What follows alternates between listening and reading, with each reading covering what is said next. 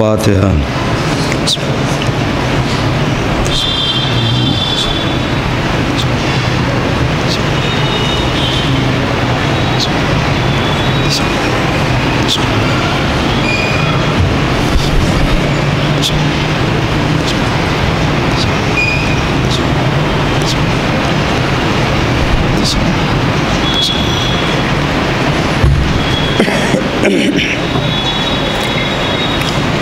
لا حول ولا قوة إلا بالله العلي العظيم.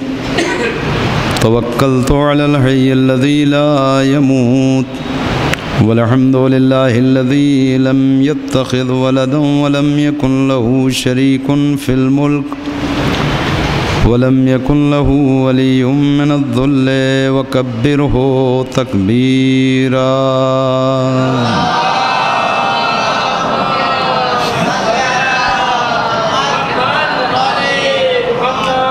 وأعوذ بالله من الشيطان اللعين الرجيم بسم الله الرحمن الرحيم الحمد لله رب العالمين، بارئ الخلائق أجمعين، باعث الأنبياء والمرسلين. الصلاة والسلام والتحية والإكرام على بشير النذير السراج المنير. شفيع المذنبين المخاطب بطه وياسين الرسول المصدد والنبي المؤيد والمصطفى الأمجد مولانا وسيدنا أبي القاسم محمد.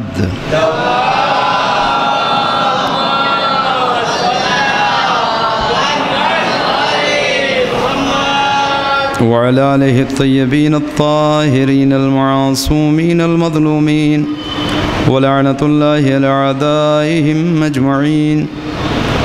من يومنا هذا إلى قيام يوم الدين. أما بعد فقد قال مولانا عمير المؤمنين علي بن أبي طالب.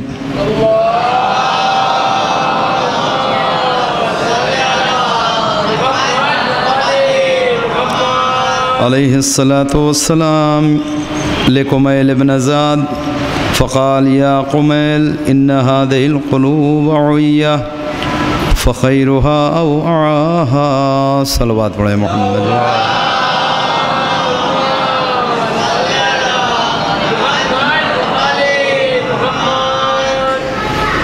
عزیزان گرامی، امیر کائنات کے اسی فقرے کے ذیل میں گفتگو آپ کے سامنے ہو رہی ہے اور ظاہر ہے کہ مستقل پانچ مجلسوں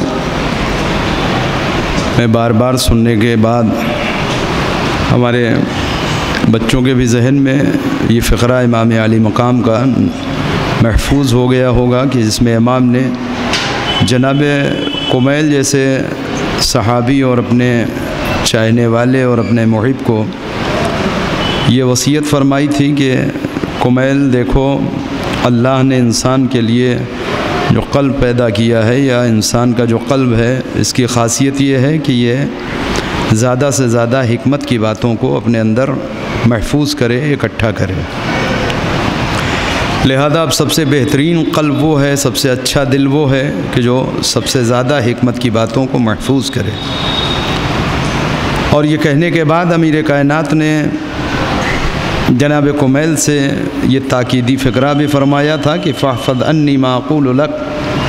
اے کمیل، دیکھو، اب جو میں کہنے جا رہا ہوں اسے یاد رکھنا۔ یعنی امام علی مقام یہ چاہتے ہیں کہ اس بات کو کوئی فراموش نہ کرے۔ اس بات کو اپنے ذہن میں بہرحال باقی رکھے۔ اور پھر امام نے فرمایا، الناس و ثلاثتن پوری دنیا کے انسان تین حصوں میں تقسیم ہوتے ہیں۔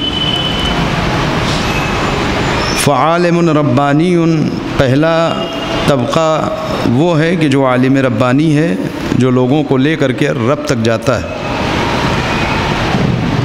جو انسانوں کو اس کے رب سے ملاتا ہے۔ وہ متعلم علی سبیل النجات۔ اور دوسرا گروہ وہ ہے کہ جو اپنی نجات کی فکر میں رہتا ہے۔ میں تھوڑا سا الٹا چل رہا ہوں۔ ورنہ بار بار میں نے اس کو عرض کیا ہے کہ اس جملے کی بھی وضاحت کی ضرورت ہے کہ متعلم اللہ سبیل نجات ہوتا کیسا ہے۔ خیر، آئندہ کی مجلسوں میں اگر گنجائش رہی تو یہ واضح کیا جائے گا آپ کے سامنے۔ تو دوسرا گروہ انسانوں کا وہ ہے کہ جو اپنی نجات کی فکر میں ہے یعنی غافل نہیں ہے۔ غفلت کی نیند سو نہیں رہا ہے، جاگ رہا ہے۔ اور اگر اتنا بھی ہے تو کافی ہے۔ تیسرا گروہ، وہ حمج نرا، اور اسی پہ ہماری گفتگو چل رہی ہے۔ تیسرا حصہ انسانوں کا وہ ہے کہ جو بھیڑوں جیسا ہے، جو نہ کچھ سمجھتے ہیں، نہ کچھ دیکھتے ہیں، نہ کچھ سنتے ہیں۔ وہ بس دوسرے کی اتباع اور اطاعت کرتے ہیں۔ جو کسی ایک کو کرتے دیکھا، سب اسی کے پیچھے چل پڑتے ہیں۔ لہذا امام نے فرمائی کہ تیسرا گروہ وہ ہے، ان لوگوں کا ہے کہ جو بھیڑ کہے جاتے ہیں۔ کمیل کوشش یہ کرو کہ عالم ربانی والی صف میں ہو، اور اگر نہیں تو کم از کم متعلم اللہ سبیل نجات والی قطار میں کھڑے ہو جاؤ۔ لیکن خبردار بھیڑ نہ بننا۔ بہت توجہ کیجیے گا۔ ترجمہ میں روزانہ آپ کے سامنے پیش کر دیتا ہوں کہ ممکن ہے کہ کوئی نیا مجلس میں داخل ہو رہا ہو، پہلی بار مجلس میں آ رہا ہو، لہذا اس کے ذہن میں بھی بات مربوط ہو جائے۔ اور دوسرا فائدہ یہ ہے کہ ذکر فن ذکر تنفع المومنین قرآن یہ کہہ رہا ہے کہ اچھی باتوں کو بار بار دہراتے رہو۔ کیوں؟ اس لیے کہ بار بار دہرانا بھی مومنین کو فائدہ پہنچاتا ہے۔ توجہ کیجیے گا۔ لہذا تبرک کے طور پر ثواب کی غرض سے صحیح، مگر روزانہ امیر کائنات کے اس فقرے کو میں آپ کے سامنے عرض کرتا ہوں تاکہ بات بھی ذہن میں مربوط ہوتی چلی جائے۔ توجہ کریں گے۔ ہماری گفتگو یہاں تک پہنچی تھی کہ اس پوری کائنات میں اللہ کے پاس جب بے شمار مخلوقات تھیں، تو کیا ضرورت تھی کہ اس میں ایک انسان بھی لایا جائے؟ توجہ کریں گے۔ یہ گفتگو اس مقام تک آئی تھی کہ چونکہ جتنی بھی مخلوقات پروردگار ہیں، یہ سب مجبور محض ہیں۔ یہ سب مجبور ہیں۔ لہذا ایک ایسی مخلوق کی ضرورت تھی کہ جو مختار ہو، آزاد ہو، اپنے ارادے اور اپنے اختیار سے پروردگار کی عبادت کرے۔ ورنہ اگر زبردستی کسی کا کان پکڑ کے اسے سجدے میں رات بھر بھی بٹھا کے رکھا جائے تو اس عبادت کا کوئی فائدہ نہیں ہے۔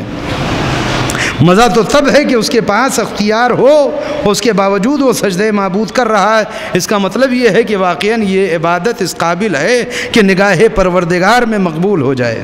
ایک سلوات اور پڑھیں گے محمد والے محمد کے اوپر۔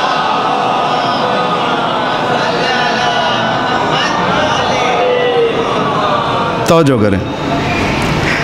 اب یہاں سے جو گفتگو پہلے روز آپ کے سامنے بیان کی گئی تھی، اسے ذرا سا مربوط کر دیتا ہوں کہ مسئلہ ہے ہمارا دین اور عقل کا۔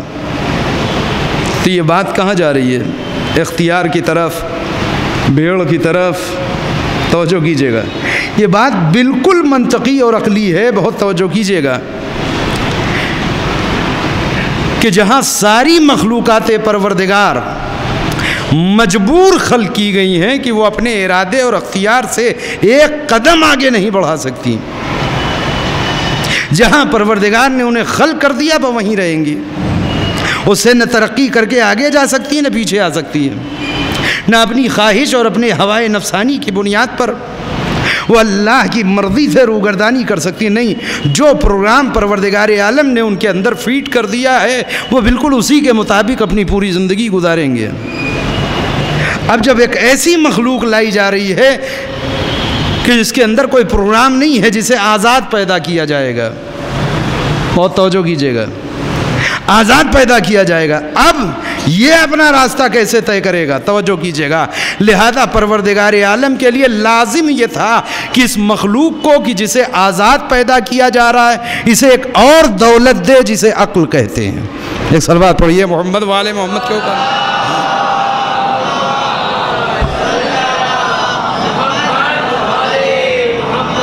اب یہاں سے ضرورت یہ پیدا ہو گئی کہ ایک وہ مخلوق کی جو آزاد ہے۔ لہذا اس کو کنٹرول کرنے کے لیے کوئی طاقت ایسی ہونی چاہیے جو اسے یہ بتاتی رہے کہ صحیح کیا ہے، غلط کیا ہے۔ حق کیا ہے، باطل کیا ہے؟ کون سا راستہ کدھر جا رہا ہے؟ لہذا یہ تو اللہ کے اوپر الزام آ جائے گا کہ یا تو آپ نے پگہے میں لگا کے رکھا ہوتا اسے بھی مجبور۔ اور جب گلے سے ڈوری نکال دی تھی، آزاد کر دیا تھا، تو عقل دینی چاہیے تھی۔ توجہ کیجیے گا، تاکہ یہ صحیح اور غلط کا فیصلہ تو کر پاتا۔ لہذا یہ مجبوری ہے کہ وہ مخلوق کی جسے آزاد پیدا کیا جا رہا ہے، اسے کم از کم عقل دے کر کے اس دنیا میں بھیجا جائے۔ کاش میری گفتگو کو آپ تھوڑا سا محسوس کرنے کی کوشش کریں۔ لہذا انسان کو چونکہ مختار پیدا کرنا ہے، آزاد انسان بنانا ہے، لہذا لازم یہ ہے کہ اس کو عقل دی جائے۔ ورنہ جسے مجبور ہی بنانا ہے، اسے عقل دینے کا فائدہ کیا؟ توجہ کیجیے گا۔ اسے عقل دینے کا کیا فائدہ؟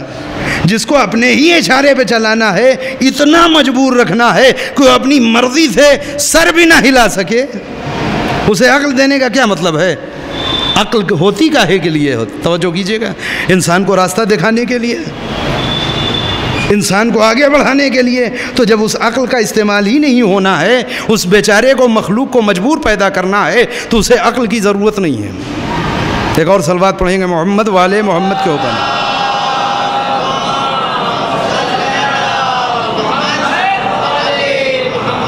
توجہ کیجیے۔ گا پھر اسے عقل کی ضرورت نہیں ہے۔ عقل کی ضرورت ہی اس مخلوق کو ہے کہ جو آزاد ہو۔ توجہ کریں گے۔ جو آزاد ہو اسے کو عقل کی ضرورت ہے۔ عقل کے معنی کیا ہے معلوم ہے؟ یہ تھوڑا سا آپ کے خستگی کو دور کر دوں میں۔ عقل کے معنی۔ میننگ کیا ہے؟ عقل کے معنی کیا ہے؟ عقل کے معنی ہے باندھنے والی چیز۔ جس سے کسی چیز کو باندھا جائے، توجہ کیجیے گا۔ عربی محاورے میں گھوڑے کے پیچھے کے جو پیر جس رسی سے باندھے جاتے ہیں، پیچھے والے، اس رسی کو کہتے ہیں اقال، عقل سے بنائیے توجہ کریں۔ گھوڑے کے پچھلے پاؤں جس لمبی رسی سے باندھے جاتے ہیں، اسے کہتے اقال۔ عربوں کو دیکھا ہے آپ نے؟ سر پہ ایسا رومال رکھ کر کے ایک کالی رسی، ڈوری لگا لیتے ہیں۔ اس کو بھی عربی میں کہتے ہیں اقال۔ اب یہ پتہ نہیں، اتفاق ہے یا ضرورت کے تحت دونوں کا نام ایک رکھا گیا ہے؟ کہ جانور کے لات سے خطرہ ہے، عربوں کے دماغ سے خطرہ ہے۔ اس سروات پڑھیے محمد والے محمد کیوں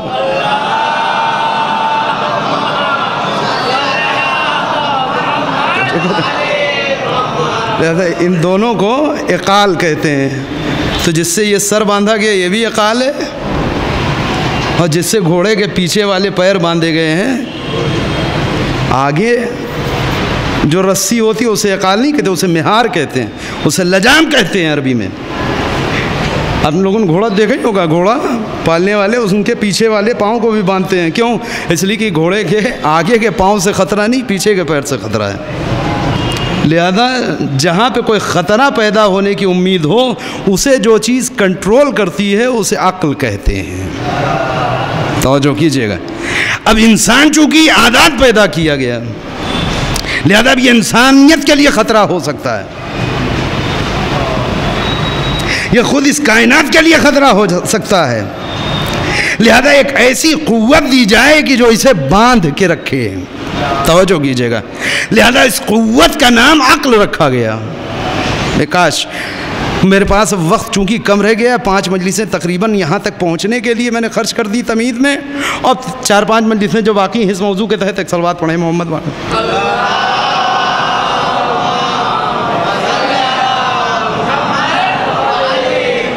اس میں جلدی سے میں نتیجے تک پہنچنا چاہتا ہوں۔ لہذا لازم یہ تھا کہ انسان کو عقل جیسی نعمت دی جائے، کہ اس کے ذریعے سے انسان صحیح اور غلط میں تمیز کر سکے، حق اور ناحق کو سمجھ سکے۔ اپنے اور پرائے کو سمجھ سکے، دوست اور دشمن میں تمیز کر سکے۔ ورنہ اگر عقل کی قوت سلب کر لی جائے، تو نمونے بھی قدرت نے اس لیے رکھے ہیں۔ ہر سماج میں دیکھا ہوگا، ایسے بہت سارے لوگ ہوتے ہیں کہ جن کی عقل زائل ہو جاتی ہے۔ عقل زائل ہو گئی کیا مطلب ہے؟ یعنی وہ طاقت چلی گئی جو اسے کنٹرول کرتی تھی۔ اور جب وہ قوت ہٹ گئی کہ جس سے یہ بندھا ہوا تھا، اب اس کا عالم کیا ہے؟ ایک ایسا آدمی کہ جس سے خدا نہ خواستہ قوت عقل لے لی گئی ہو، دیوانہ ہو گیا، پاگل ہو گیا، عقل نے ساتھ چھوڑ دیا۔ اب آپ بتائیے، کیا اسے سماج میں جینے کا حق ہے؟ حکومت اسے کھلے عام چھوڑ سکتی ہے؟ لوگ اسے سماج میں برداشت کریں گے؟ کہ نہیں، اسے اٹھاؤ، ایک جگہ کے اوپر محفوظ کر دو۔ کیوں بھائی، یہ بھی تو انسان ہے۔ اس نے کوئی خطا نہیں کی، اس نے کوئی جرم نہیں کیا۔ توجہ کیجیے گا۔ کہ نہیں، اصل میں عقل چلی گئی۔ اور جب عقل چلی گئی، تو یہ خود کو بھی نقصان پہنچا سکتا ہے، دوسرے کو بھی نقصان پہنچا سکتا ہے۔ لہذا عقل کی وہ دولت ہے کہ جس کے ذریعے سے انسان کو انسان بنایا گیا۔ توجہ کیجیے جناب آدم علیہ السلام جب پیدا ہوئے تو یہ روایت، یہ حدیث بھی اصول کافی کے اندر موجود ہے۔ اصول کافی ہماری عظیم جو چار کتابیں ہیں، ان میں سب سے عظیم جو کتاب ہے حدیث کی، اس کا نام ہے اصول کافی۔ توجہ کریں۔ یہ امام زمانہ علیہ السلاۃ والسلام کی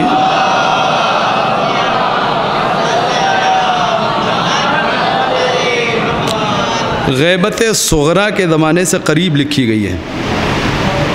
اتنی قدیم کتاب ہے۔ جناب محمد بن یعقوب کلینی علیہ الرحمن۔ اٹھارہ برس کی محنت اور مشقت کے بعد راویوں سے ملنا، محدثین سے رابطہ کرنا، چونکہ یہ وہ زمانہ ہے کہ جو بالکل قریب کا زمانہ ہے۔ جس میں صحابی تو نہیں، مگر تابعین موجود ہیں یا طب تابعین موجود ہیں۔ یا امامت سے بالکل قریب کا زمانہ ہے۔ توجہ کیجیے گا۔ آخری امام ابھی غیبت سغرا کے دور میں ہے۔ توجہ کریں گے۔ لہذا وہ افراد موجود ہیں جنہوں نے ڈائریکٹ معصومین سے حدیث سنی ہے۔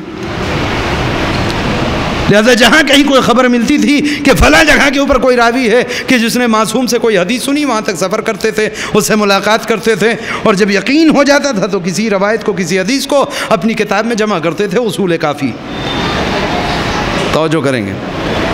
اس اصول کافی میں اچھا اس کے تین حصے ہیں، تین والوم ہیں۔ کبھی کبھی کچھ باتیں وہ بچوں اور نوجوانوں کو دیکھ کر کے کہنی پڑتی ہے مجبوری ہے کہ ان کا حق ہے وہ جانے۔ بزرگوں کے لیے ہو سکتا ہے کہ وہ ناقابل برداشت ہو کہ یار یہ کیا لبے پڑھا رہے ہیں، ہم کو ایک سلوات پڑھیں۔ محمد والے محمد کے اوپر۔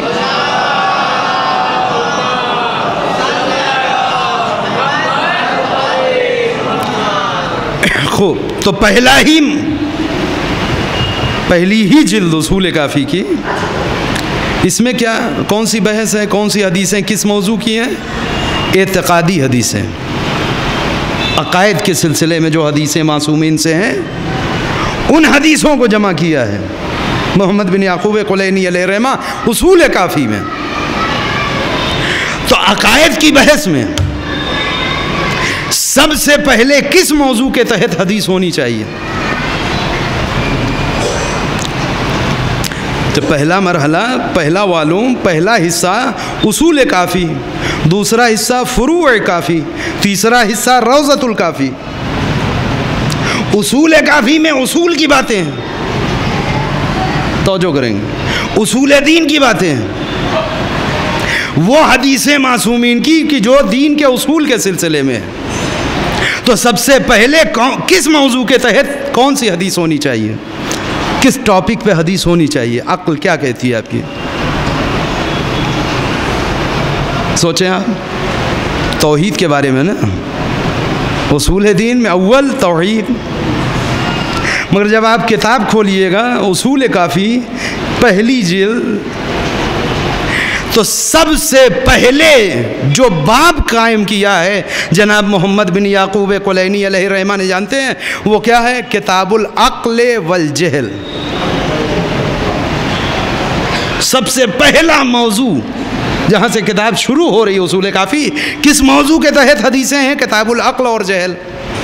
عقل اور جہالت کے سلسلے میں معصومین سے جتنی حدیثیں ان کو مل سکی، ان ساری حدیثوں کو نقل کیا ہے۔ اس کے بعد مرحلہ توحید کا ہے۔ اس کے بعد مرحلہ امامت و نبوت و قیامت کا ہے۔ توجہ کیجیے گا۔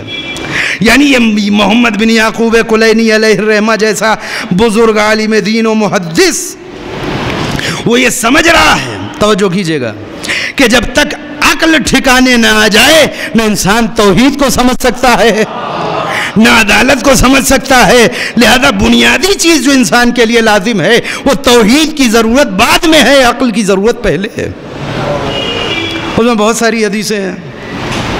ایک روایت، ایک حدیث وہ نقل کرتے ہیں، وہ کہتے ہیں کہ جناب آدم علیہ السلاۃ والسلام جب پیدا ہوئے، تو اللہ نے جناب جبرائیل کے ساتھ ان کے پاس تین تحفے بھیجے۔ جناب جبرائیل کے ہاتھوں تین تحفے بھیجے جناب آدم کے پاس۔ اور اس کے ساتھ حکم یہ ہے کہ یہ تینوں آدم کے لیے نہیں ہے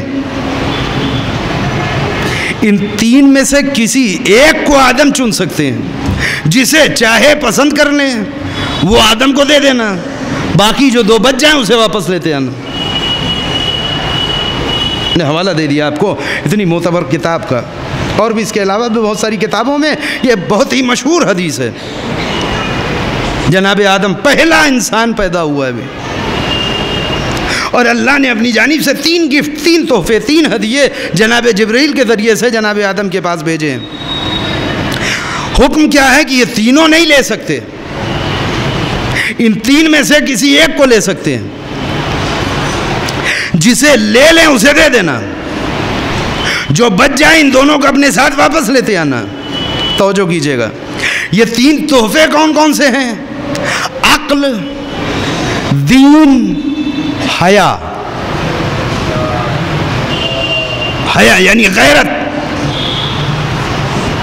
سنیں انسان، با انسان یا بے حیا انسان۔ با غیرت انسان یا بے غیرت انسان۔ جو چکنا گھڑا ہو، کچھ بھی ہو جائے، اس کی صحت پہ کچھ اثر نہیں پڑتا۔ اس کے پاس غیرت نام کی کوئی چیز نہیں ہے، حیا نام کی کوئی چیز نہیں بے شرم ہے انسان۔ تو تین عظیم گفٹ ہیں کہ جو پروردگار عالم نے جناب آدم کے پاس بھیجے ہیں۔ ایک کیا ہے؟ عقل ہے۔ دوسری دین، شریعت، مذہب۔ تیسری چیز، حیا۔ آرڈر کیا ہے جناب جبرائیل کو؟ ایک دینا۔ جو وہ چوز کر لیں، اسے دے دینا۔ جو دو بچ جائیں، اسے واپس لیتے آنا۔ جناب آدم، یہ تینوں تحفے لے کر کے آئے توجہ کیجیے گا۔ جناب جبرائیل، جناب آدم کے پاس یہ تینوں گفٹ لے کے آئے کہ پروردگار عالم نے تحفے درود و سلام کے بعد آپ کے لیے تین ہدیے بھیجے ہیں۔ توجہ کیجیے گا۔ ان تینوں کو مجسم بنا کے پروردگار عالم نے بھیجا تھا۔ پھر کم مجھے یہ حکم دیا ہے کہ آدم سے کہہ دو کہ ان تینوں میں سے کسی ایک کو چن لیں۔ اب چونکہ میں اتنی تمہید پڑھ چکا ہوں، لہذا آپ کے لیے بھی چناؤ آسان ہے۔ ورنہ اگر یہ میرے سامنے آ جائے، دین بھی ہے، عقل بھی ہے، حیا بھی ہے، ایک کو چننا ہو، کسے چنیں گے آپ؟ ایک طرف دین ہے، توجہ کیجیے گا۔ مذہب ہے، شریعت ہے، قانون الہی ہے۔ حکم خدا ہے، کسی ایک کو لینا ہے۔ توجہ کرے ایک سلوات پڑھے محمد والے۔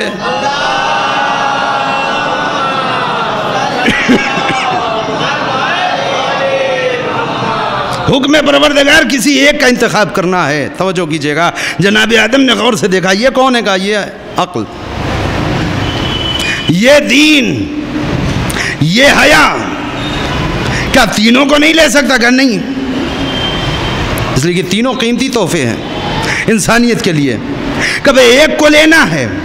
توجہ کیجیے گا۔ آپ جانتے ہیں جناب آدم نے کس کا انتخاب کیا؟ کہ اگر ایسی بات ہے تو مجھے عقل دے دو۔ توجہ کیجیے مجھے عقل دے دو۔ ان کا بسم اللہ، عقل آپ کی ہوئی۔ اب جناب جبریل مڑے حیا اور دین کی طرف۔ کہ بسم اللہ، آپ لوگ تشریف لے چلیے۔ ایک داہنی طرف جا کر کے بیٹھ گئے۔ دوسرا بائیں طرف جناب آدم کے جبریل کا رہے بھائی چلیے آپ لوگ واپس چلیے۔ انہوں نے عقل کا انتخاب کیا ہے عقل کو چوز کیا ہے عقل کو پسند کیا ہے۔ اللہ نے مجھے حکم دیا تھا جسے آدم لے وہ دے دینا باقی کو واپس لے کے آنا۔ کہ یہ تو آپ سے اللہ نے کہا تھا مگر ہمیں اللہ نے یہ بتایا تھا جہاں عقل رہے وہیں تم دونوں بھی رہنا۔ ایک سلوات پڑھے محمد والے محمد۔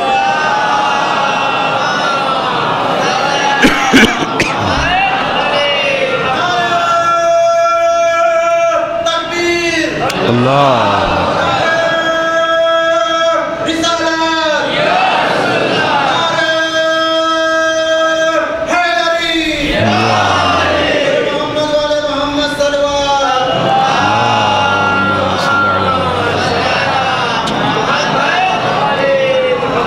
توجہ کر رہے ہیں؟ حیا اور دین نے کیا جواب دیا کہ نہیں، ہم واپس نہیں جائیں گے۔ کیوں؟ کہا، اللہ نے ہم سے بھی کچھ کہا ہے اور ہمیں یہ حکم ہوا ہے، جہاں جہاں عقل رہے، تم دونوں کی ڈیوٹی ہے کہ عقل کے ساتھ ساتھ رہنا۔ عقل کا ساتھ مت چھوڑنا۔ یہ حدیث پانچویں امام بیان کرے توجہ کیجیے گا۔ مفہوم کیا ہے اتنی بڑی حدیث کا اس اسٹوری کا؟ اس واقعے کا، توجہ کیجیے گا۔ یعنی دین ہمیں یہ سمجھانا چاہ رہا ہے کہ جہاں عقل ہوگی، وہیں دین بھی ہوگا، وہیں غیرت بھی ہوگی۔ اور جس کے پاس عقل ہی نہ ہو، وہ لاکھ ٹکر پہ ٹکر مارتا رہا، سجدہ پہتا سجدہ کرتا رہے، روزوں پہ روزہ رکھتا رہے۔ لیکن اگر عقل کو دین سے جوڑ نہیں دیا، تو یہ سب بیکار ہے نہ اس کے پاس حیا رہ جائے گی، نہ دین رہ جائے گا۔ یہ سلوات پڑھے محمد والے محمد کو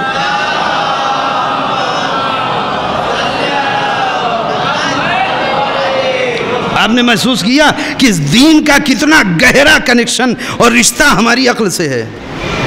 مگر افسوس، آپ یقین جانیے کہ پوری ایک کم سے کم ایک مجلس پوری چاہیے۔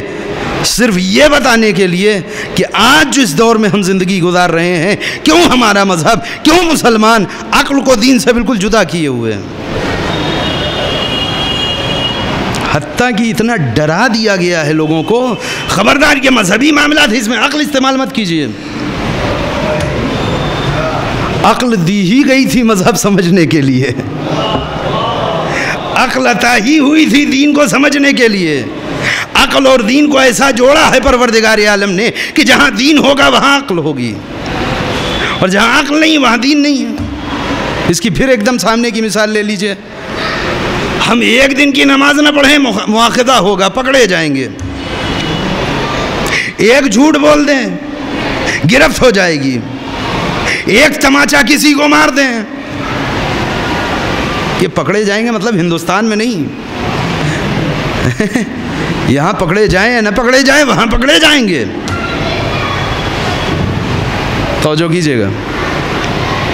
دیکھیے دو جو بیٹھے ہیں، وہ اسی کام کے لیے بیٹھے ہیں۔ یہ سب لکھ رہے ہیں۔ مگر ایک انسان پاگل ہو گیا۔ مسلمان تھا۔ عبادت گزار تھا، مکلف تھا، کچھ دنوں کے بعد خدا نخواستہ پاگل ہو گیا۔ چھ ماہ تک مثلا یا ایک مہینے تک پاگل رہا۔ نہ جانے کتنوں کے گھر پھوڑے، نہ جانو کتنوں کے سر پھوڑا اس نے کتنوں کو برا بھلا گالی گلوچ کیا۔ ایک بھی نماز نہیں پڑھی، رمضان آ گیا، اسی میں ایک مہینہ چلا گیا، نہ روزہ رکھا نجس کھا لیا، گناہ کر لیا۔ آپ پوچھیں کسی بھی مرجع یا مفتی سے کہ اس سے ان سارے ایک مہینے کے پیریڈ کا کوئی حساب و کتاب ہوگا؟ اس سے پوچھا جائے گا، تم نے کیوں فلاں کو گالی دی تھی؟ کیوں فلاں کے اوپر ہاتھ اٹھایا تھا؟ کہ نہیں، کیوں بھائی؟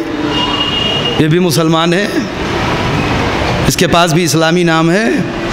کہ آپ سمجھے نہیں، اس کی عقل زائل ہو گئی تھی۔ توجہ کیجیے گا۔ نہ اس کے اوپر قضا واجب ہے کہ ایک مہینے کے بعد ٹھیک ہو گیا تو ایک مہینے کی نمازیں پڑھے گا۔ تو اب تو پڑھ لے۔ کہ نہیں، اس دوران اس کی عقل زائل ہو گئی تھی۔ میں نے کہا، عقل سے کیا معاملہ؟ کہ نہیں، اللہ دین دیتا ہی اسی کو ہے جس کے پاس عقل ہوتی ہے۔ اور عقل چلی گئی تو دین چلا گیا۔ اب اس وقت اس کے اوپر دین کے احکامات نہیں ہیں۔ توجہ کریں گے۔ ایک سلوات اور پڑھیے، محمد والے محمد کے اوپر۔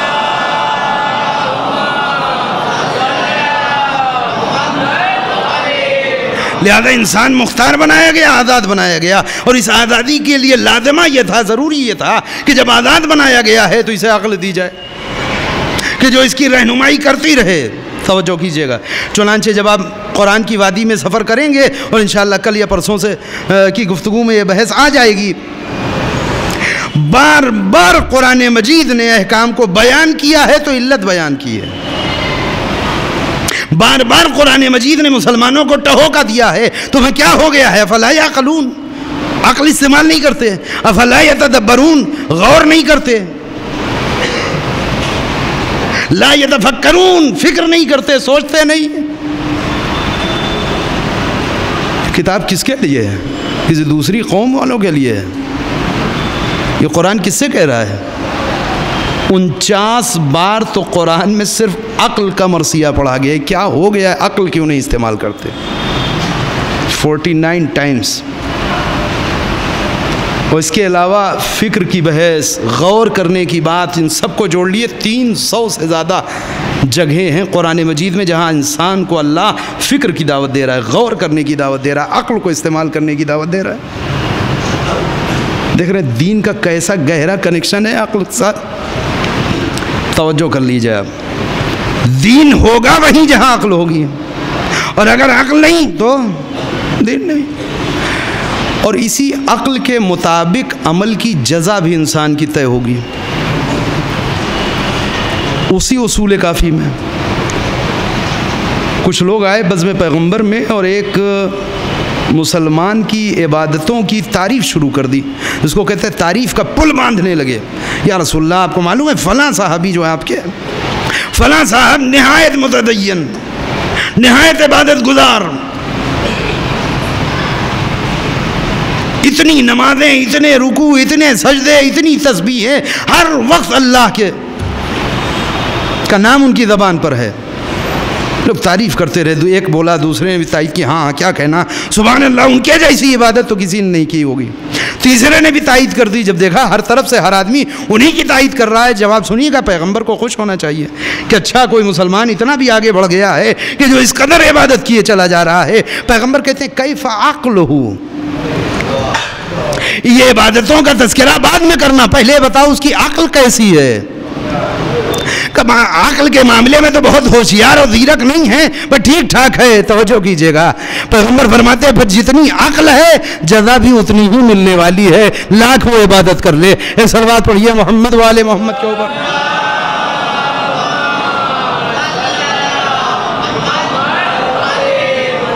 توجہ کیجیے گا۔ کیوں ایسا؟ المعروف بقدر المعرفہ۔ جتنی جس کی معرفت، جتنی جس کی سمجھ، جتنا جو ہوشیار، جتنا عقل لگا کر کے مذہب پہ عمل کرنے والا، اتنا ہی زیادہ عجر توجہ کیجیے گا۔ اتنی ہی زیادہ اس کو اجرت ملنے والی ہے۔ اگر فکر کو استعمال کر لے وہ۔ اور اگر احمق ہے، عقل ہی نہیں استعمال کر رہا ہے۔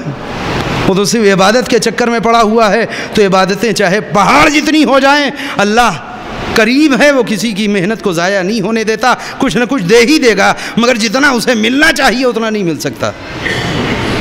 کیوں؟ اس لیے کہ یہ عقل ہے جو انسان کو اللہ کے راستے پہ چلاتی ہے۔ بہت توجہ کریے۔ میں ایک جگہ مجلس پڑھنے گیا۔ ایک جاگتی ہوئی سلوات پڑھیے، سناؤ۔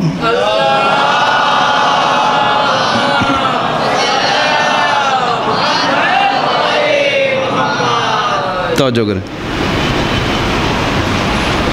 مجلس میں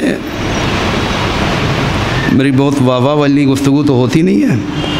تو خوب مجھے اچھی طرح معلوم ہے۔ آپ کو بھی معلوم ہے۔ آج گیارہویں مجلس پڑھ رہا ہوں آپ کے علاقے میں۔ ایک صاحب بہت زیادہ واہ واہ واہ واہ کیے جا رہے تھے مجلس بھر۔ کہیں ایسا نہ ہو، خدا نخواستہ جو دو چار نعرے لگتے ہیں، کل سے وہ بھی بند ہو جائیں۔ اب ظاہر ہے کہ میں بھی انسان ہوں۔ فطرت، تقاضا، تعریف کس کو اچھی نہیں لگتی؟ میری نظر بار بار ادھری جا رہی ہے کہ یار اتنا بڑا مجمع ہے اور یہی سب سے زیادہ سمجھدار ہیں۔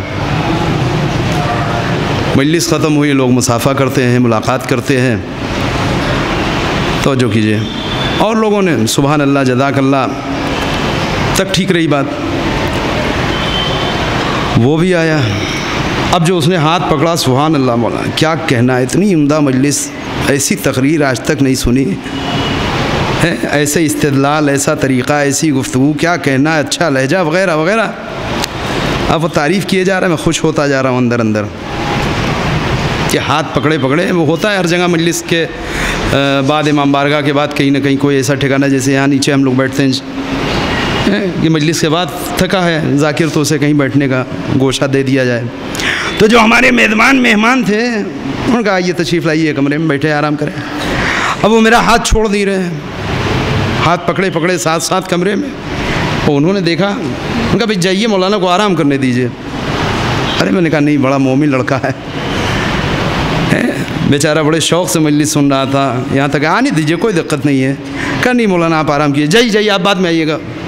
ان کو زبستی ڈھکیل کے انہوں نے باہر کر دیا۔ توجہ کریے۔ مجھے برا لگا۔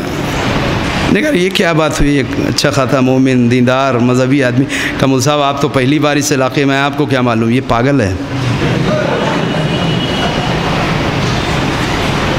توجہ کیجیے میں پاگل ہے کیا؟ پھر کا پتہ نہیں کہاں سے یہ مسجد میں آ گیا۔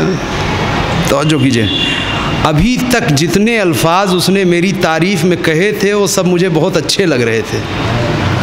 جیسے ہی یہ پتہ چلا کہ اس کا عقل سے رشتہ ٹوٹ گیا ہے، اب اس کی تعریف کا ہر جملہ مجھے اپنی مذمت لگنے لگا۔ ایک گھنٹے کی مجلس میں کتنی بار اس نے سبحان اللہ کتنی تعریفیں کی، مجلس کے بعد تک کتنی میری تعریف کی۔ ایک طرف یہ تعریف، دوسری طرف اسی مجمع میں سے ایک ڈاکٹر کھڑے ہوئے، ایک پروفیسر، ایک انجینئر۔ صاحبان عقل۔ انہوں نے ایک گھنٹے تک تعریف نہیں کی، دو جملے میں کہا، سبحان اللہ مولانا، بڑی اچھی گفتگو کی آپ نے، جزاک اللہ۔ اس میں کتنا ٹائم لگا؟ کہہ کے چلے گئے۔ یہ کون صاحب سے کہیں ڈاکٹر ہیں؟ یہ کون صاحب سے کہیں اتنے بڑے انجینئر ہیں؟ توجہ کیجیے گا۔ ایک وہ ہے جس نے ایک گھنٹے تک میری تعریف کی۔ میں کہہ گیا، پتہ نہیں بات پہنچی یا نہیں۔ ایک وہ ہے کہ جس نے صرف دو جملے میں توجہ کیجیے گا۔ دو جملوں میں میری تعریف کی مجھے کس کی تعریف پسند آئے گی؟ جس نے بے عقلی کے ساتھ ایک گھنٹے تک کی ہے وہ میری نگاہ میں محترم۔ یا جو سمجھدار دو جملے میں واہ واہ کہہ کے چلا گیا وہ محترم۔ توجہ کیجیے گا۔ کہ نہیں مجھے اس کی تعریف اب دوبارہ کیا ہوگا؟ اگر باہر نکلوں گا ان کا سامنا ہو گیا۔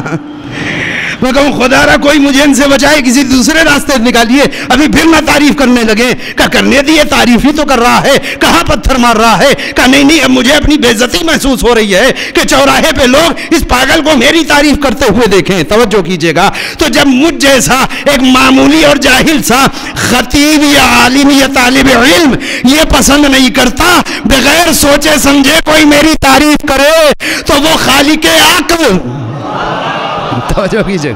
کیا وہ یہ پسند کرے گا؟ کوئی احمق میری بارگاہ میں رات بھر سجدہ ریز ہو جائے۔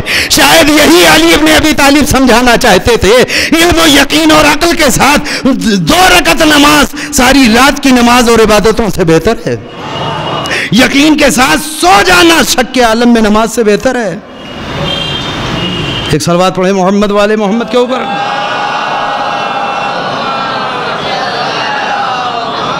کیا ہوتا ہے؟ لہذا ہر تعریف سننے والا یہ چاہتا ہے کہ جو تعریف کر رہا ہے یہ عقل مند ہو، یہ سمجھدار ہو۔ میں دس جگہ بتا سکتا ہوں، آپ کو معلوم ہے۔ فلاں ڈاکٹر صاحب نے میری مجلس کی تعریف کی۔ فلاں انجینئر صاحب نے میرے، میری تعریف کی۔ مگر یہ کبھی نہیں بتاؤں گا، فلاں پاگل نے ایک گھنٹے تک میری تعریف کی۔ بتاؤں گا؟ نہیں بتاؤں گا؟ توجہ کیجیے گا۔ لہذا جب معرفت پیدا ہوتی ہے، عقل کو استعمال کرتا ہے انسان۔ کیا ہو گیا؟ کا ہو یہ گیا کہ ابھی تک میں سمجھ رہا تھا، یہ سمجھ بوجھ کے تعریف کر رہا ہے۔ مگر جیسے ہی پتہ چلا کہ عقل سے رشتہ ٹوٹ گیا ہے، اب میری سمجھ میں آ گیا کہ یہ تو بلا وجہ تعریف کیے جا رہا ہے۔ نہ حدیث سمجھتا ہے، نہ آیت جانتا ہے، نہ قرآن جانتا ہے، نہ دلیلیں جانتا ہے، نہ دین سمجھتا ہے، نہ مذہب سمجھتا ہے۔ سب کو واہ واہ کرتے دیکھ کے یہ بھی واہ واہ کر رہا ہے۔ توجہ کر رہے ہیں آپ؟ پروردگار کو بھی احمقوں کی عبادت پسند نہیں ہے۔ جو بس سب کو کرتے دیکھ کے کیے جا رہا ہے، کچھ نہیں۔ لہذا اس نے جو نعمت دی ہے، عقل، المعروف بقدر المعرفہ، اتنی ہی اجرت ملے گی۔ توجہ کیجیے گا۔ جتنی عقل کے ساتھ عبادت کی گئی ہو۔ ابھی شاید کسی اور موضوع کے تحت آپ نے سنا ضرور ہوگا۔ مجھے یقین ہے، مجلسی مجمع ہے۔ ایک سے ایک خطیبوں اور ذاکروں کو آپ نے سنا ہے، مگر بات یہاں تک آ گئی ہے اور بات ذہن میں آ رہی ہے۔ لہذا اس گفتگو کو بالکل محکم کر دوں یہ جم روایت سنا کر کے۔ چھٹے امام امام جعفر صادق علیہ السلاۃ وسلام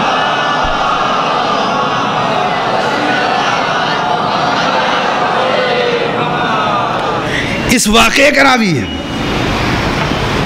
دیکھیے، عقل انسان کو کہاں سے کہاں پہنچاتی ہے۔ وہ کہتے ہیں کہ بنی اسرائیل میں ایک عابد تھا۔ وہ عبادت کر رہا تھا، پوری بستی چھوڑ کر کے، علاقہ چھوڑ کر کے، ایک جگہ کے اوپر گیا اور وہاں مسلح عبادت بچھا دیا اس نے، صبح سے شام تک بھائی اللہ اللہ اللہ اللہ۔ دنوں رات عبادتیں پروردگار۔ خو پورے علاقے میں عابد مشہور ہو گیا۔ اس سے بڑا عابد، اس اس سے بڑا زاہد، اس سے بڑا عبادت پروردگار کرنے والا اس بستی میں کوئی نہیں ہے۔ وہ اوپر ہی رہتا تھا۔ توجہ کیجیے گا۔ اللہ کی عبادت کر رہا ہے؟ ایک روز شیطان نے اپنے پوری ٹیم کی میٹنگ بلائی۔ اس واقعے کو بھی عقائد دستغیب شیرازی نے اپنی کتاب گنانے کبیرہ میں لکھا ہے۔ شیطان نے پوری ٹیم جو مارکیٹ میں ٹیم ورک اکیلے تھوڑی نہ بہکاتا ہے، پوری ٹیم اس کی ہے۔ کچھ اس کی جنس کے ہیں، کچھ ہماری جنس کے ہیں، مگر کام اس کا کرتے ہیں۔ اور یہ بھی میں نہیں کہہ رہا ہوں، قرآن کہہ رہا من الجنت والناس۔ شیطان صرف جنوں والا نہیں ہے، انسانوں میں بھی شیطان ہے۔ تو اس کا کام کرتے ہیں، اس کی ڈیوٹی کرتے ہیں۔ اس سب کو بلایا۔ کہاں بتاؤ، رپورٹ دو تم کہاں ہو؟ ان کا ہم فلاں علاقہ دیکھ رہے ہیں۔ آپ کا میں فلاں محلے کو دیکھ رہا ہوں۔ آپ کیا کر رہے ہیں؟ میں فلاں جگہ فلاں جگہ، فلاں سب نے اپنا اپنا بتا دیا۔ کہاں کہاں کام کر رہے ہیں؟ تو آخر میں شیطان نے کہا، ابلیس نے یعنی جو اصل رئیس ہے، ہیڈ ہے۔ اس نے کہا، سب لوگ ادھر ہی ادھر لگے ہوئے ہو۔ اور وہ جو پہاڑی پہ ایک عبادت کر رہا ہے، اسے کون بہکائے گا؟ کہ حضور، جس کو آپ کہیے گا نہیں، تم لوگ بتاؤ۔ کون جانا چاہتا ہے اس کام پہ؟ توجہ کیجیے گا۔ امام صادق روایت کر رہے ہیں۔ کون جائے گا؟ ایک کھڑا ہوا۔ کہ میں جاؤں گا۔ یہ کام میرے سے برد کر دیا، میں اسے بہکاؤں گا۔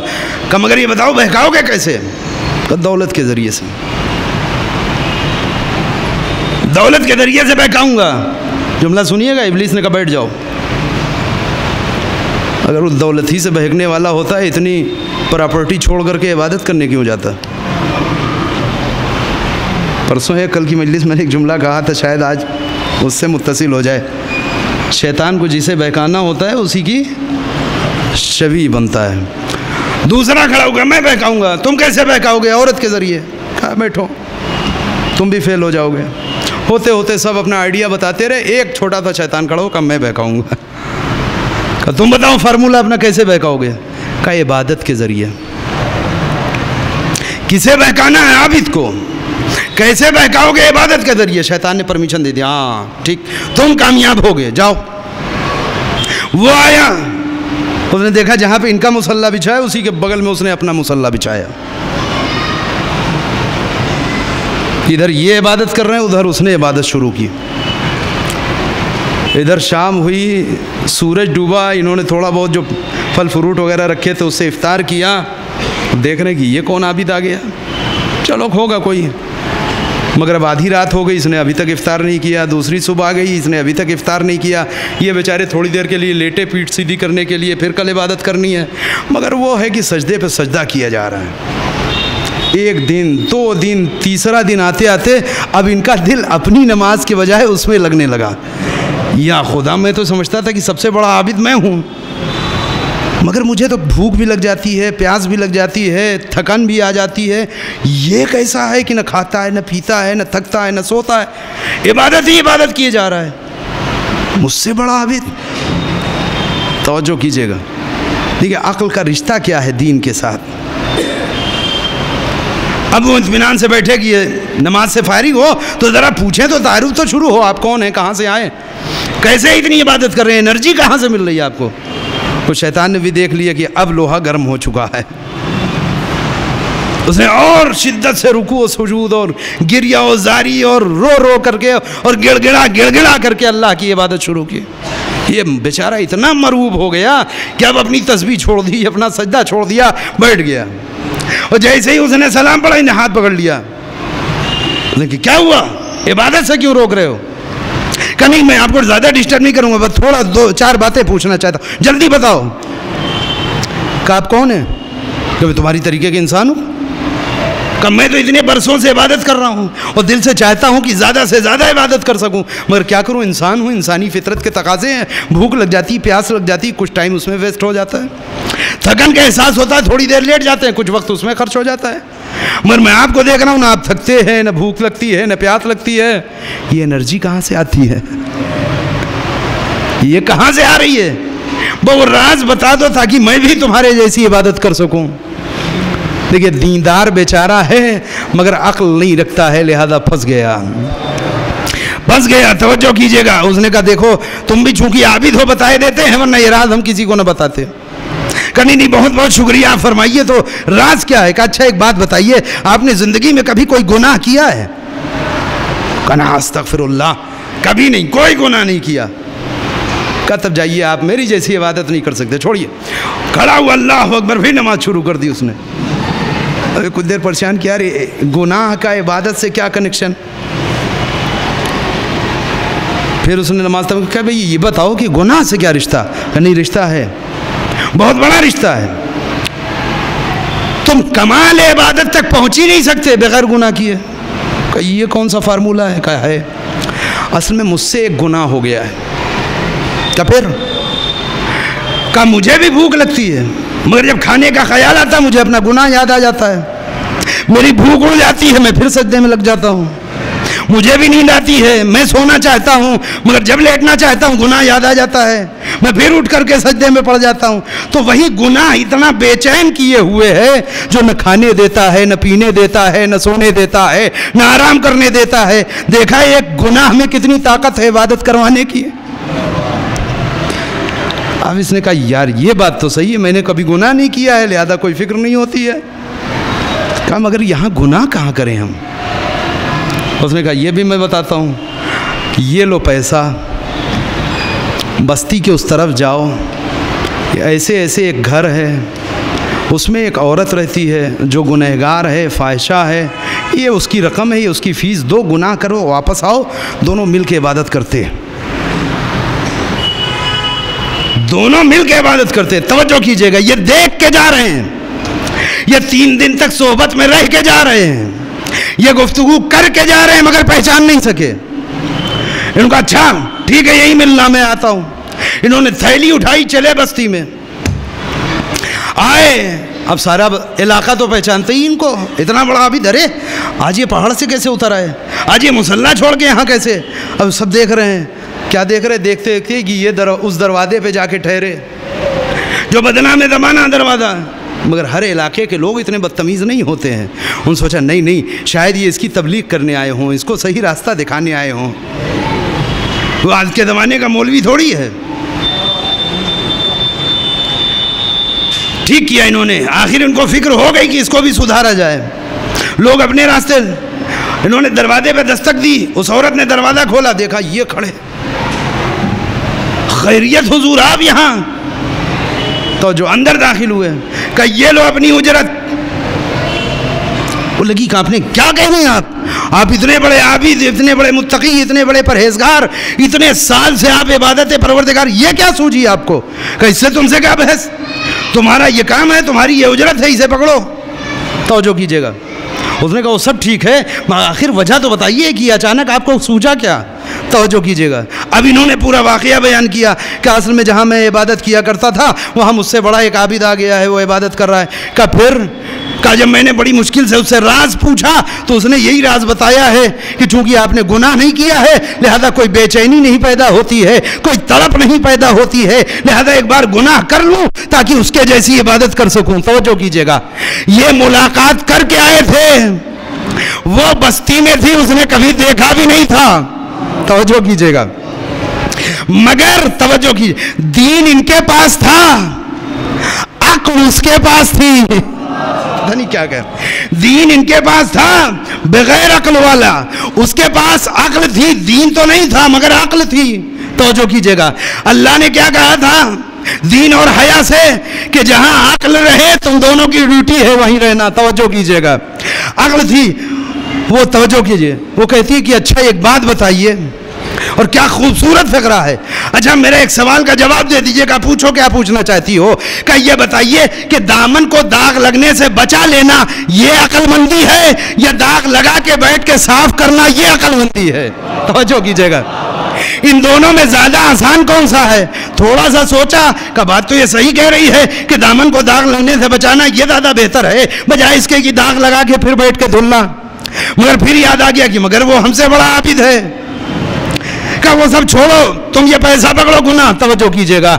اب وہ آخری ایک فقرہ کہتی ہے کہ آپ جو کہہ رہے ہیں، میں تیار ہوں۔ مگر میری ایک شرط اور ہے۔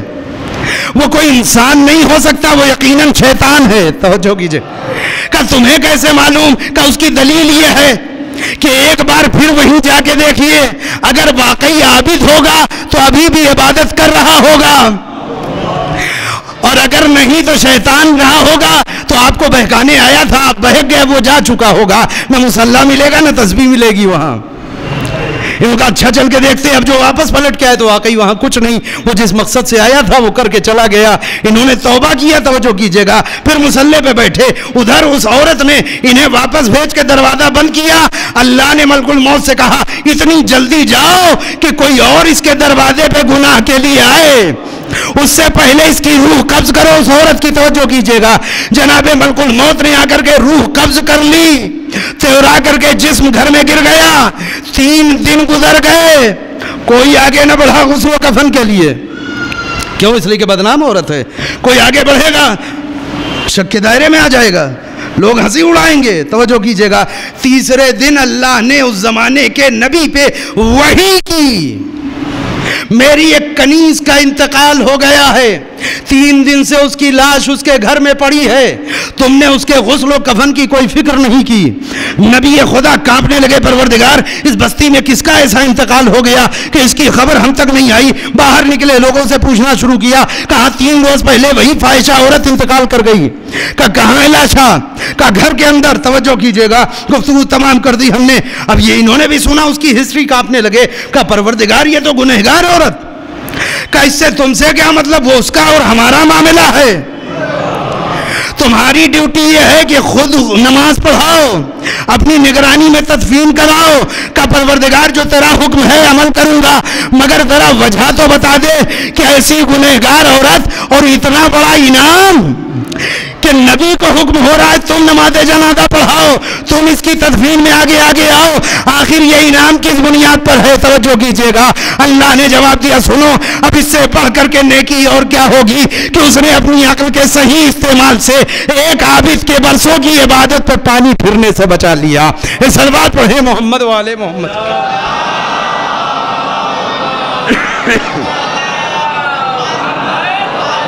توجہ کریں۔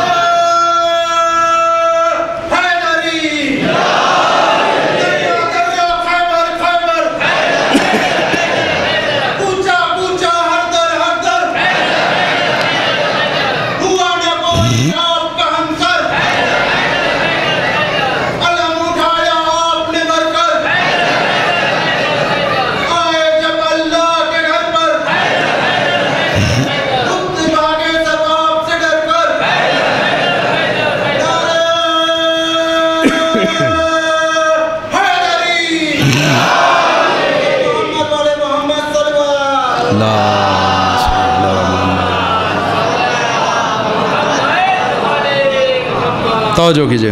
لہذا انسان کے لیے ضروری کیا تھا کہ اسے حریت کے ساتھ، آزادی کے ساتھ عقل دی جائے۔ یہ عقل ہے کہ جو انسان کو صحیح راستے تک لاتی ہے، مگر تب جب انسان عقل کو استعمال کرے۔ اسی لفظ کو یاد رکھیے گا، کل کی پوری مجلس صرف استعمال عقل پر۔ عقل کو کیسے استعمال کرنا ہے اور کہاں کہاں عقل کے نہ استعمال سے۔ آج جو اتنی بڑی ٹریجڈی جس کے لیے ہم یہاں بیٹھے ہیں واقع کربلا، یہ ہوا کیا؟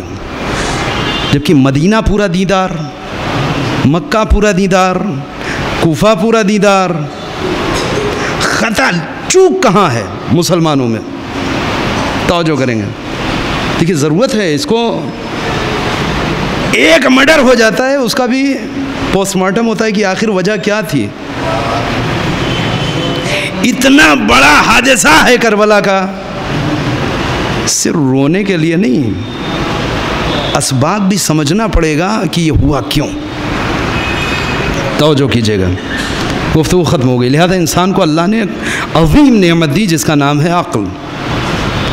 جن لوگوں نے عقل کے ذریعے سے دین کو سمجھا، وہ کبھی بہک نہیں سکتے۔ جس نے عقل کو دین کے لیے استعمال کر لیا، وہ کبھی غلط راستے پہ جا نہیں سکتے۔ توجہ کیجیے گا۔ وہ حق کو پہچانتے ہیں، وہ باطل کو پہچانتے ہیں۔ اور جب عقل نے صحیح فیصلہ دے دیا تو پھر اس راہ میں کوئی دنیا کی طاقت ان کے قدم پیچھے نہیں اٹھا سکتی۔ چنانچہ جو قافلہ چل رہا ہے، امام حسین کا ایک منزل کے اوپر آیا، جب امام تھوڑی دیر کے لیے اپنی سواری کے اوپر ٹیک لگاتے ہیں۔ آنکھ بند کر لی حسین نے۔ آنکھ بند کیا کی؟ آنکھ لگ گئی حسین کی۔ بھئی ایک لمحے کے لیے آپ جو اٹھے چونک کر کے تو زبان پہ کلمہ استرجا ہے۔ انا للہ و انا الیہ راجعون۔ اٹھارہ برس کا جوان بیٹا سامنے آ گیا، بابا، خیریت۔ یہ کلمہ استرجا پڑھنے کی کیا وجہ ہے؟ ابھی ابھی میری آنکھ لگ گئی۔ میں نے ایک حاطف غیبی کی ایک آواز سنی۔ کہ وہ کہہ رہا ہے کہ یہ کیسا قافلہ جا رہا ہے، کہ یہ قافلہ آگے آگے جا رہا ہے، موت اس کے پیچھے پیچھے چل رہی ہے۔ توجہ کیجیے گا۔ جوان بیٹا توجہ کرے، عجب سوال کرتا ہے۔ یہ جناب اکبر ہیں جو مقتل نے لکھا۔ کہتے ہیں، یا با، یا بابا اے بابا، اللسنا علی الحق۔ کیا ہم حق کے راستے پر نہیں ہیں؟ حسین نے کہا، بیٹا، اگر ہم ہی حق کے راستے پہ نہ ہوں گے تو پھر کون ہوگا؟ جوان بیٹا اور حسین کی آغوش کا پلا بیٹا، حسین کی تربیت کردہ اولاد، کہتی، بابا پھر فکر کا ہے کہ موت ہم پہ آ پڑے یا ہم موت پہ جا پڑے؟ جب ہم حق کے راستے پہ ہیں تو موت کا کیا خطرہ حسین کا اتنا دل بڑھا کہ اپنے جوان کو سینے سے لگا لیا۔ کا بیٹا، شاباش واقعاً اہل حق کی مثال یوں ہی ہونی چاہیے کہ انہیں موت موت سے بڑی کوئی چیز نہیں اس دنیا میں۔ جب موت کا خوف نہیں ہے تو پھر کس چیز کا خوف ہے؟ کربلا یہ واقعہ یہ قافلہ کربلا آ گیا۔ دو محرم کو حسین خیمہ زن ہو گئے کربلا کی سرزمین پر۔ چار محرم کو شمر کا لشکر آ گیا۔ حسین کے خیمے فرات کے کنارے سے ہٹا دیے گئے۔ توجہ کیجیے گا۔ ساتویں محرم آئی۔ پانی ختم ہو گیا۔ آج اس وقت شب سات محرم ہے جس میں ہم اور آپ بیٹھے ہیں۔ یعنی کل کا سورج طلوع ہوگا تو حسینی خیام میں پانی کا کوئی قطرہ نہ ہوگا۔ ننے ننے بچے پیاسے ہوں گے جوان پیاسے ہوں گے اصحاب پیاسے ہوں گے۔ جزاکم اللہ خیر الجدا عاشور کا دن آیا۔ قربانی کا دن آ گیا۔ مقتل لکھتا ہے کہ حسین کا جوان بار بار حسین کے سامنے آتا تھا۔ بابا، مجھے بھی مرنے کی اجازت دے دو۔ بابا، مجھے بھی مقتل میں جانے کی اجازت دے دو۔ اللہ اکبر۔ آسان ہے۔ جناب علی اکبر، جیسے چاند سے بیٹے کو مقتل میں جانے کی اجازت دینا۔ حسین بار بار ٹال دیتے تھے۔ توجہ کیجیے گا۔ ایک منزل وہ آئی۔ کہ جب جناب علی اکبر پھر آئے حسین ابن علی کے پاس، کہا، بابا، اب مجھ سے بچوں کی پیاس دیکھی نہیں جاتی۔ اب مجھ سے آپ کی غربت دیکھی نہیں جاتی۔ بابا، مجھے بھی مقتل میں جانے کی اجازت دے دو۔ حسین نے پھر ایک بہانہ پیدا کیا۔ کہتے ہیں، علی اکبر، تمہیں معلوم ہے کہ تمہیں بچپن سے تمہاری پھوپھی نے پالا ہے۔ اے بیٹا، جتنا حق میرا تم پہ ہے، اتنا زینب کا بھی تمہارے اوپر ہے۔ لہذا اے اکبر جاؤ، پہلے پھوپھی سے اجازت لو۔ پھوپھی سے خدا حافظ کرو۔ علی اکبر جناب زینب کے خیمے میں آئے۔ جناب زینب کھڑی ہو گئیں۔ کہو میرے لال کیوں آئے ہو؟ کہا پھوپھی اماں، بابا مرنے کی اجازت نہیں دے رہے۔ بابا مقتل میں جانے کی اجازت نہیں دے رہے ہیں۔ توجہ کیجیے گا۔ زینب خاموش رہی مجھ سے کیا چاہتے ہو؟ کہ پھوپھی اماں، اگر آپ سفارش کر دیں۔ اگر آپ بابا سے کہہ دیں، جناب زینب دو قدم پیچھے ہٹ گئی اکبر، اٹھارہ برس اسی دن کے لیے پالا تھا کہ جب جوان ہو جاؤ تو مجھ سے اپنے موت کے لیے سفارش کرواؤ۔ توجہ کیجیے گا۔ جزاکم اللہ خیر الجزا یہ حسین کا جوان بیٹا ہے کہ جو اپنے بوڑھے باپ کی غربت برداشت نہیں کر پا رہا ہے، مگر نہ بابا اجازت دے رہے ہیں، نہ پھوپھی اماں اجازت دے رہی ہے عزیزوں میں بہت زیادہ مصائب نہیں پڑھ پاؤں گا۔ پھر آج انشاءاللہ آپ تابوت کی زیارت کریں گے۔ میں دو چار فقرے سن لیجیے اور یقیناً آپ روتے ہوئے اٹھیے گا۔ علی اکبر کچھ دیر خاموش رہے، اس کے بعد گھٹنوں کو موڑ کر کے جناب زینب کے حضور بیٹھ گئے۔ کہے، پھوپھی اماں، آپ نہیں جانے دیتی؟ نہ جانے دیجیے، ٹھیک ہے، میں راضی ہوں۔ مگر ایک سوال کا جواب دے دیجیے۔ اگر کل قیامت کے دن میری دادی زہرا نے آپ سے یہ پوچھ لیا کہ اے زینب، تجھے اپنا اکبر زیادہ پیارا تھا، میرے حسین کی فکر نہیں تھی۔ تو آپ کیا جواب دیجیے گا؟ مجھے تو یہ فقرہ جناب علی اکبر نے کہا، زینب نے آنسوؤں کو پوچھ لیا۔ اے علی اکبر، جاؤ، خدا حافظ۔ ارے میرے بھیا حسین پر سے میں تجھے قربان کرتی ہوں۔ علی اکبر نکلنا چاہتے ہیں۔ خیمے سے باہر بیویوں میں خبر ہو گئی کہ اکبر رخصت آخر کے لیے آئے ہیں۔ تمام بیویوں نے حلقہ بنایا۔ اکبر نکلنا چاہتے ہیں۔ حمید ابن مسلم جب فقرہ لکھتا ہے، کہتا ہے کہ بار بار خیمے کا پردہ اٹھتا تھا اور اکبر نکلنا چاہتے تھے کہ اچانک کوئی پیچھے سے دامن پکڑ کے اندر کھینچ لیتا تھا۔ اچانک کوئی پیچھے سے دامن پکڑ کے واپس خیمے میں کھینچ لیتا تھا۔ اکبر تھوڑی دیر کے بعد پھر نکلنا چاہتے تھے، پھر کوئی دامن پکڑ کے اندر کھینچ لیتا تھا۔ کہتا تو مجھ پہ کشف تو نہ ہوا کہ یہ کون تھا کہ جو بار بار اکبر کو اندر خیمے میں کھینچ لیتا تھا۔ مگر عزیز و عقل یہ کہتی ہے کہ اگر کوئی بڑی بیوی ہوتی، ماں ہوتی، زینب ہوتی، کوئی بزرگ ہوتا تو علی اکبر کا شانہ پکڑ کے اندر لاتا اکبر کا شانہ پکڑ کے اندر لاتا۔ یہ کون ہے کہ جو دامن پکڑ کے کھینچ رہا ہے؟ کہیں چار برس کی سکینہ تو نہیں۔ کہ چار برس کی چھوٹی سی بچی تو نہیں ہے۔ اے بھائی اکبر، ارے کہاں جا رہے ہو؟ صبح سے جو گیا ہے وہ واپس نہیں آیا۔ جزاکم اللہ خیر الجزا خدا آپ کو کسی غم میں نہ رلائے، سوائے غم سید الشہداء کے۔ ہاں آپ نے یقیناً گریہ کیا، آپ نے حق کے گریہ ادا کر دیا، آپ مصاب ہو گئے۔ مگر دو چار فکرے اور سن لیجیے کیوں اس لیے کہ حسین کے جوان کی مجلس ہے۔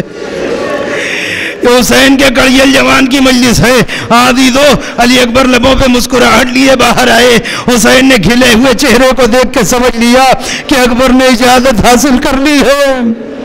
جزاکم اللہ خیر الجزا اب بھی احتیاط دیکھیں آپ۔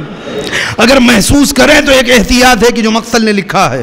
وہ یہ ہے کہ اکبر آ کر کے بوڑھے باپ کے سامنے کھڑے ہو گئے۔ بابا باپ بھی جانے کی اجازت دے دیجیے۔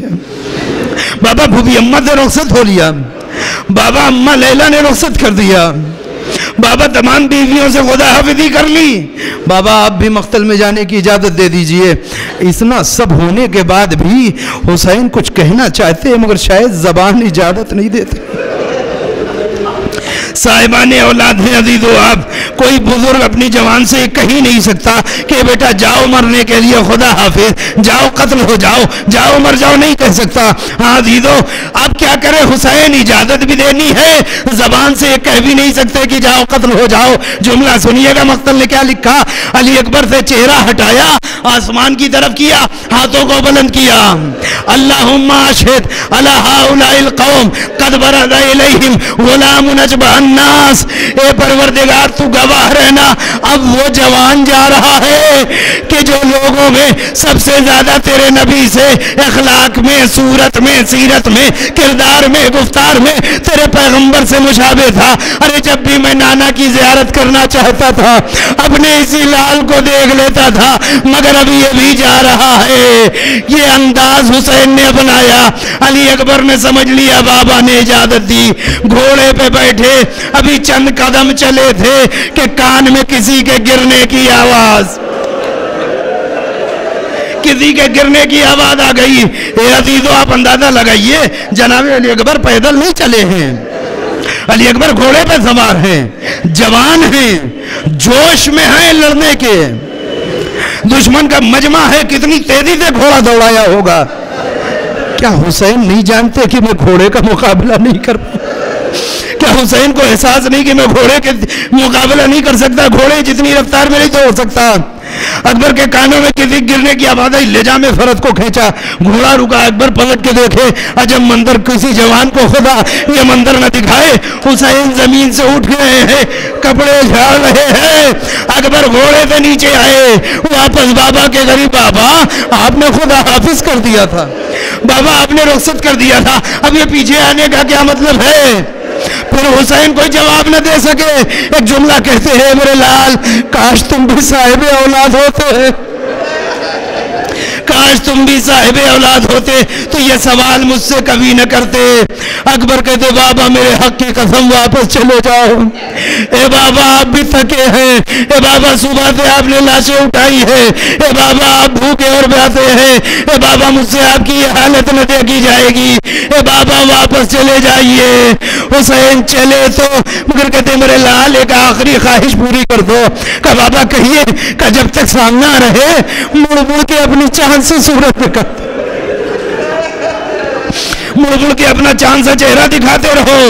اکبر نے خدا حافظی کی واپس آئے۔ عزیز پھر میں شہادت نہ پڑھ پاؤں گا۔ لیکن مجھے جہاں تک لے کر کے جانا ہے آپ کو، اس کے لیے کلیجے میں طاقت چاہیے۔ اور میری قوت ختم ہو چکی ہے۔ اے عزیزو منزل آئی کہ جب حسین بے چینی سے در خیمہ پہ ٹہل رہے تھے، اچانک کانوں میں جوان بیٹے کی صدا آئی۔ یا بتا، علیکن منی سلام۔ اے بابا، میرا آخری سلام قبول کر لو۔ یہ عدیدوں بہت سے فرق ہیں کہ جو مقتل نے لکھے ہیں۔ ہر گرنے والا حسین کو مدد کے لیے بلاتا تھا۔ اے آقا غلام کا آخری سلام لو۔ اے آقا غلام کی خبر گیری کرو۔ اے آقا، مدد کے لیے آؤ۔ مگر مقتل لکھتا علی اکبر گرے۔ تو عجب فقرہ کہا، یا بتاؤ، علیکن منی سلام اے بابا، میرا آخری سلام قبول کر لو۔ کیا مطلب اس کا؟ اے بابا، آنے کی ضرورت نہیں ہے۔ اے بابا آنے کی ضرورت نہیں ہے۔ اس لیے کہ اس سے پہلے جب آپ آتے تھے تو میں ہی تو بازو پکڑا کے لاتا تھا۔ اے بابا، آپ جوان کے لاشے میں کیسے آؤ گے؟